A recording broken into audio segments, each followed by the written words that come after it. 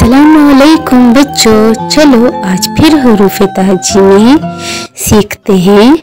Scene, शीन सीन शीन।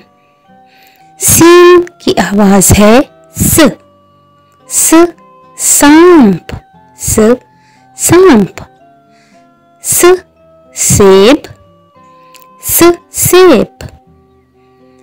स, सीढ़ी स, सीढ़ी। स, सारा। स, सारा। शीन। शीन की आवाज़ है श। श, शेर।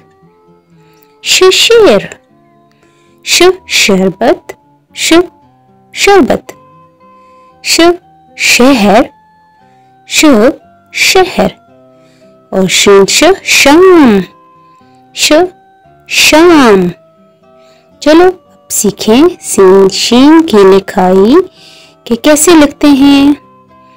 सीन और शीन के तीन दांत, यानी तीन शोशे हैं, इनको शोशे कहा जाता है।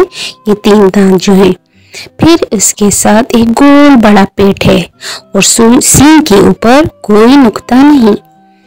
शीन शीन के ऊपर तीन नुकते हैं। शीन और शिव के भी तीन दांत हैं और शीन के ऊपर तीन उगते और एक बड़ा गोल पेट। Follow for more informative videos thank you